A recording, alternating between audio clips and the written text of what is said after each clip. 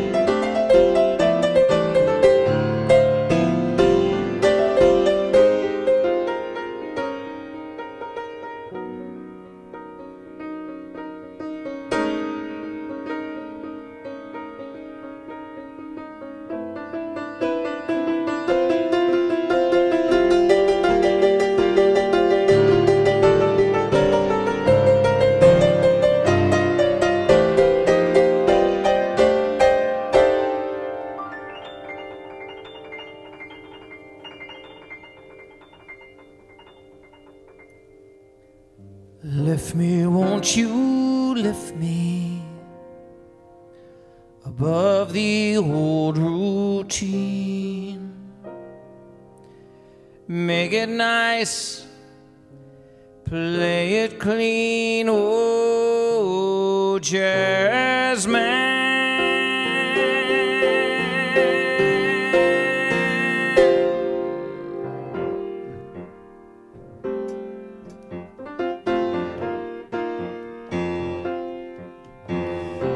jazz man's a faithless man believes he can sing you into paradise or bring it to your knees.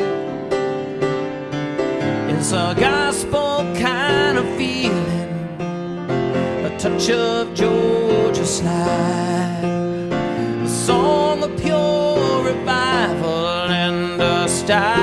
sanctified.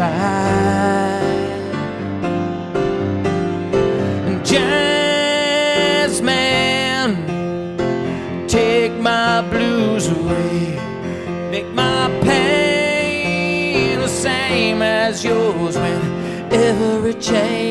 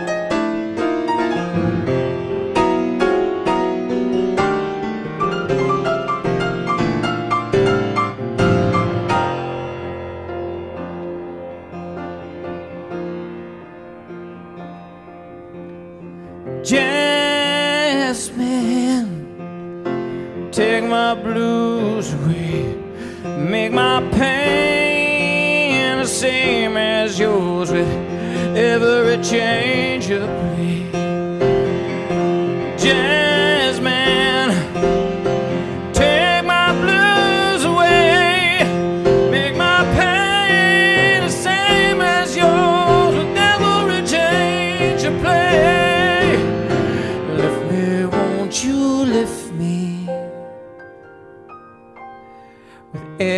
Turn around? Play it sweetly, take me down. Oh, jazz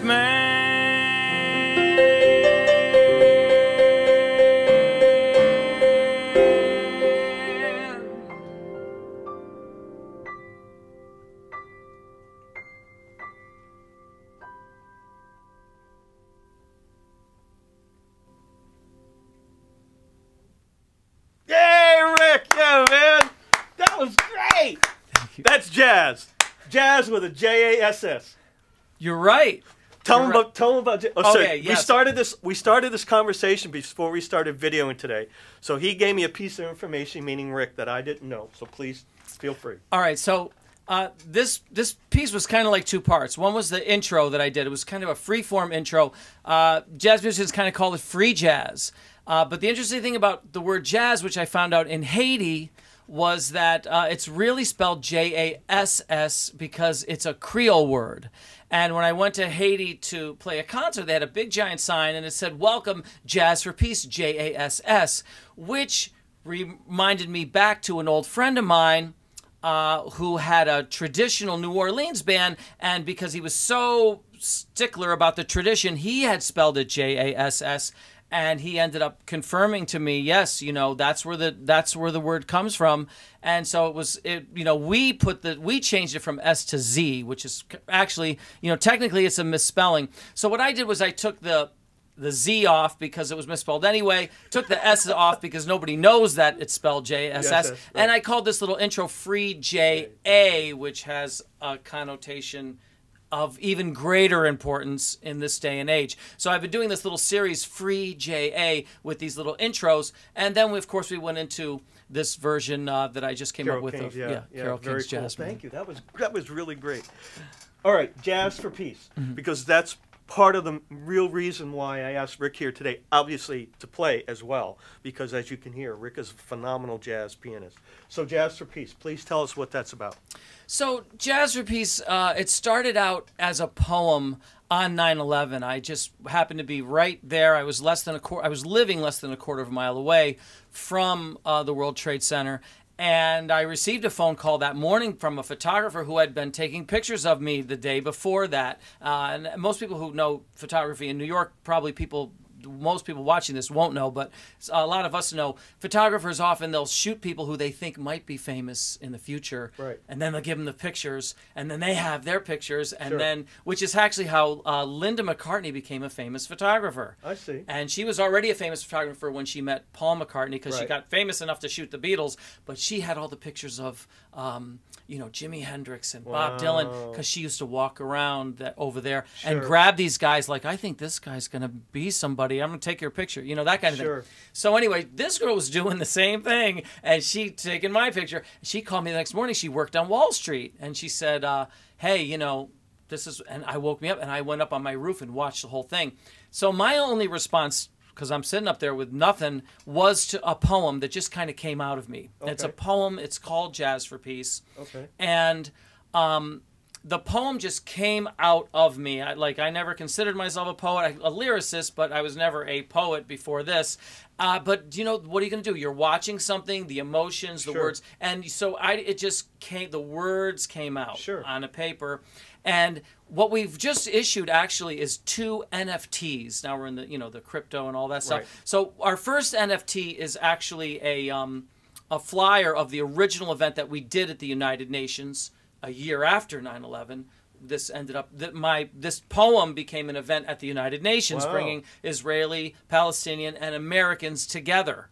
For the first and probably only time Good at the you. United Nations in a concert, yeah, which started the benefit concert series. So one NFT is the is the flyer of that original concert. The other NFT is an article that came out that has the Jazz for Peace poem, and it also has in it because it was an interview. Off the top of my head, a sentence that I just said, and that sentence was simply: "If we fill our souls up with creativity and artistry and Sure. you know uh, things of that nature, Sure. we will have a better chance to avoid the behavior that leads to destruction. That was also lifted from this one article. So it's the poem and the article, and that became a famous quote. So now people do this. They'll type in Rick Dellaratta famous quote, and all these websites come up that have taken that quote and Right. put it in there. And what I tell people is, you know, that's cool to go there and read all the quotes because Sure. it's all these, you know, all these amazing people uh, you can read quotes of. You know, Aldous Huxley or Einstein. They're all on the same page, yeah. and you'll see my quote on there. I, what can I tell you? I So just what happened with Jazz for Peace? Now, it obviously 9/11 and the poem, and that started kicking you into a different direction. So It that did. led you to Jazz for Peace, or you founded it. Well, I, basically, since I wrote a poem called Jazz for Peace, I had a concert coming up Okay. uh, with my, my trio at the time, which was Eddie Gomez and Lenny White, and then we added a, a horn player, Paquito D'Rivera, and they said, you know, we heard you recited this poem down in Savannah, Georgia, because I I. I, was headlining at a jazz, uh, Savannah Jazz Festival. Uh, only if you, like the first, as soon as they opened things after 9/11, Okay. I had to get down to this festival because it was coming up like it was like the whatever later in that month, late September. I played at the Savannah Jazz Festival and I read the poem. And then they called and said, "Wow, that poem! People, we've been hearing all about this poem. Are you going to put that to music?" So I had put it to music by the by the concert there. Then it, then we started the um, concert out with jazz for the four of us I see. playing this the piece Jazz for Peace, which is also the title of a CD. You know how it is. One thing just you know. Yes, in one yeah. stone leads you to the next. So now, walking, right? yes. Articles come out. Dellaratta starts concert with Jazz for Peace, and blah blah blah blah blah. I see. Now it's like, I well, see. maybe I'll do a few concerts to help outstanding causes in New York City. I see. Well, that led to over 250 co- uh, concerts next in New step, right. next step, and next then step. that led to uh, actually the mayor at the time, Michael Bloomberg, writing me a letter saying, "Hey, I've been hearing about these concerts you're doing. This is what you're doing is fantastic. You got to cool. keep going." Blah blah. So then I'm like, okay, but you know. We, we that means kind of means we have to at least get our, tell Right. the rest of the state. Yes. Then it became the rest of the country. Then Yeah. an international expansion series to the rest of the world. Uh, leading us to our ninth trip Right. to Africa. So what I'm excited about today is I know some of your people don't even know that we've even been to Africa once. They don't know Right, about Jazz Music. So. I'm so glad you're getting this, you know, getting to your Well, people. but this is the yeah the ninth trip. Absolutely. trip. So, what Rick is referring to, and we referred to it in the previous episode for dedication post isolation, was July 9th, 2022. Rick is going to be performing in Nigeria. Yes. And there's actually an Eventbrite link that'll be under the text description area in today's video and YouTube, right? And as well as their Facebook page, as well as their website, also Rick's web address specifically, and also his Facebook page link will be all in the text description area. And also on social media when we post it. So point is is that now this is what this is all leading up to. For example, in the immediate future is this July 9th concert. Yes, and you'll be excited to know that Ukpeme, who is an ambassador for peace, who's involved, you know, she's she's the one really that responsible for this concert. She heard about this interview, so you're getting, you know, because you put it on What's those. that? Well, you have to realize that, yeah, because as Yeah. you know, people on there's people from Nigeria on LinkedIn Yes. or on these, you know, on these so, social media sites. So she said, hey. You know, I, you're gonna. I hear you're gonna be on this thing. yeah. You're gonna be interviewed coming up. Can you say a couple of things? And I said, yeah. Send it Feel to me. Feel free, go for it, So man. she wrote, you know, here's Very she. This is this is what she. Thanks, thanks for and well done for the upcoming appearance on dedicated dedication post isolation. so Oh, she thank knows you. thing. Thank you. That's maybe cool. she followed. I don't know. Maybe she was watching you before. I don't know. It would be helpful if Rick can mention that everyone is everyone is encouraged to be a part of history by participating in the forthcoming historic concert. Participation by attendance online or physically, and or participation by supporting the planning of the event, thus promoting peace through music. Uh, she also said that uh, a man named Jean Paul Closet uh, from the Netherlands has informed her that he is planning up to set up viewing screens in the Netherlands for people to view the concert online and to promote peace dialogues around the event. And cool. now a little bit about her organization. The value string, the values string, is her thing. It's Okay. it's like a it's it's it's her kind of thing that's gone from this to this to this. Okay, so it's become a brand comprising the title of her book. So it's she had wrote a book called The Values String. Then it became the title of her song, the name of her you know registered United States registered businesses business. And the general social impact of the values string is to foster nonviolence, peaceful conflict resolution, and a valuable society. Uh, that has also led her some, to something uh, that she convenes called the Peace Agenda Summit, which consists of 17 speakers, all of them presenting different strategies for peace. And, you know, what I'd like to just add is that, you know, we all look and see the amounts of money that's spent on war. I mean, it was, we used to be in the millions, then we started hearing billions. Now we're hearing trillions, of dollars trillions, on war. But what if, see, someone contacted me the other day and said, you know, you, what you do is blowing away Right. the for, in terms of you know prospectively Yes. war because they have to spend so much money to get to do so little. Yes. Some people even say it's it ends up in a negative result. You're you're with no you know without funding you Right. are doing you know you're doing all of this. What if we just started because now we're in something it's called the fourth turning. I don't know if you ever heard of the fourth turning. No, I haven't. It's a cycle of 85 years. Happens 80, every 85 years, and you get these first two seconds. The fourth turning is a time of purging. It's also a time of war where it looks like a war, even if you're not in a war. Okay. And it's it's it's also a time where things get so upside down that you could just go like this and get them right. So they, they become we we get we start to get the right answers by things being so wrong. I see. So, for example, here's an idea of a right answer, right? We're funding war to the gills, right? Right. And I'm even hearing from, uh, from I'm hearing from veterans who say to me, "What you did in Pakistan." Because I did something to promote uh, literacy in Pakistan. There's all these different events you could, you know, but some of them say what you did in Rwanda, what you did in Pakistan. What you did would cost, if you to do that militarily, would cost tens Oh. of, you know, billions Tons of of money, dollars. yes, yes, of money, to do what you did to for uh, for if we, if we were to do that militarily. Yes. So you know, uh, same thing with Rwanda. If you look at what, what we did in Rwanda and what the result has been since, and so what you know what about the idea of uh, you're funding all this war what about just funding a little piece Right. what if we funded what if we just took a drop and Yeah. funded peace Yeah. what would be the result because look at the results if you go to our website and you see all of our things you see the testimonials from the actual grant recipients all of that and all we did was really we put achievement before profit our goal was to the, Right. achieve the goal to help out these organizations just to and people. yeah to get to the finish line and actually get a result and Yes. and we we heard it was the organizations themselves who told us that we were accomplishing Sure. this or that and we have a model called an empowerment tree so uh, basically you know what if what if someone said you know hey i'm going to drink one less cup of coffee and i'm going to i'm going to fund peace Right. with that six dollars you Yes. know what would happen who knows because we haven't we haven't done it Yes. we haven't even thought of it you know Yes. for whatever reason we've got it backwards and Yes. we're all the funding go to war maybe how about 99% and 1% instead of 100 to 0 Sure. you know I call it reversing the polarity of the energy. Meaning you have a set energy, whether it be a negative or a positive. Mm-hmm. Typically, you want to make a negative a positive.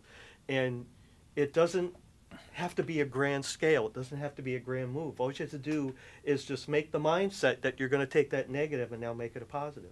And of course, that's through art, through music. Right. Mm-hmm. What we're doing, what you're doing, what Jazz for Peace is doing. Okay.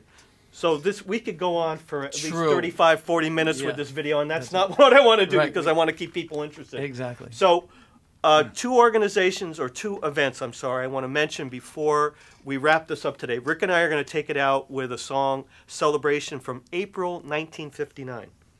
But two events I want to mention quickly. First of all, this Thursday, April 28th, 2022, 6 p.m. to 8 p.m., and this is from my friend Sharon Brand here in New York City. There will be a memorial celebration for the life of Helen Klass, who was a very dear friend, artist, and also vocalist and also actress. And that's going to be at the Townhouse, 236 East 58th Street, East Side between 2nd and 3rd Avenue. If you want more information, please feel free to contact me. Also, the second one I want to mention quickly because we've been pushing it for the last two episodes on dedication post isolation. Good news through their uh, press releases is that the United States, the Sullivans, the destroyer up at the Buffalo Erie County Naval Park, is actually now, it was listing at 30 degrees. Now it's because of their efforts the last 48 hours, now only listing 14 degrees. So they're making a lot of headway pumping the water out. So please, if you'd like to no- donate, again, the links will be under this text description area.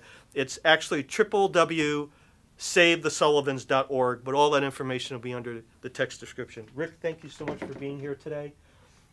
Make mention april 1959 this song was recorded by this gentleman right here in new york city.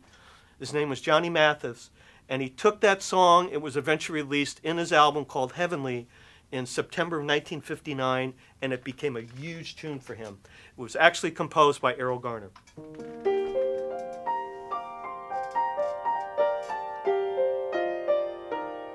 And thank you for tuning in today. And thank you. Please support Rick. The July 9th, 2022, again, that information will be in the text description area. Live links makes it very easy for you to click on, please.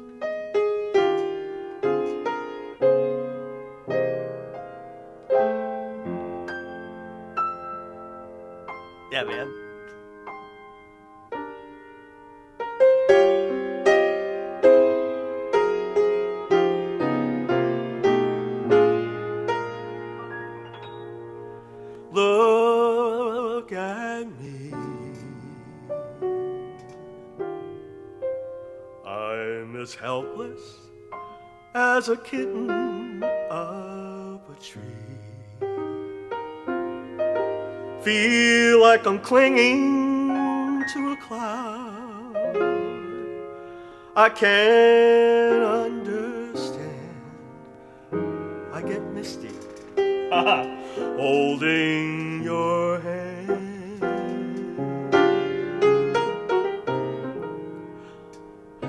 Walk my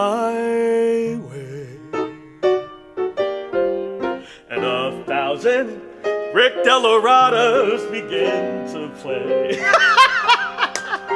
Could it be the sound of his hello? That music I hear. Yeah, man, I get misty the moment he is near. Here we go. Uh, you can say that you're leading me on. Yeah, man. But it's just what I want you to do. Don't you notice how hopelessly I am lost? That's why I'm following you.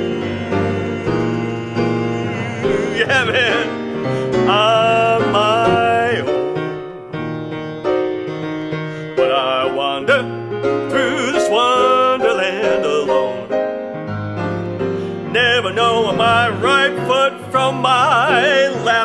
my hat from my glove. I get misty, I just too much in. I just too much in love. Take it right, yeah, man. Ah, yeah. Yeah,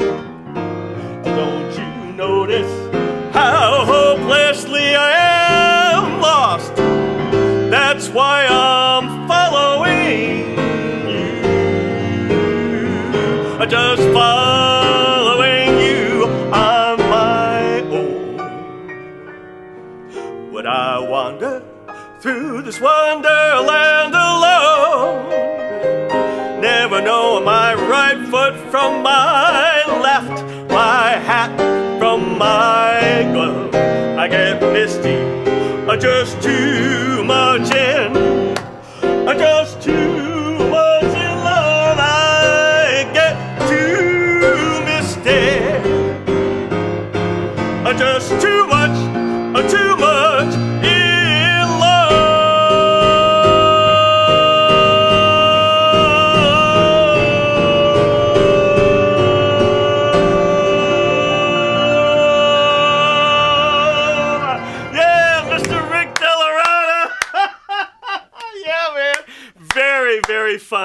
Thank you for tuning in today. Please visit www.jazzforpeace.org. Again, all that information will be under the text description area, live links, etc., etc. Thank you, Rick, for being here. That was so much fun. Great information. Really, really fun. Good. Thank you. Thank you very, very much. Thank you, Deborah, by the way. That's his right hand man, so to speak. We'll see you next episode. Until then, stay well, stay warm, and thank you again, Chip Fabrizi, PPI owner.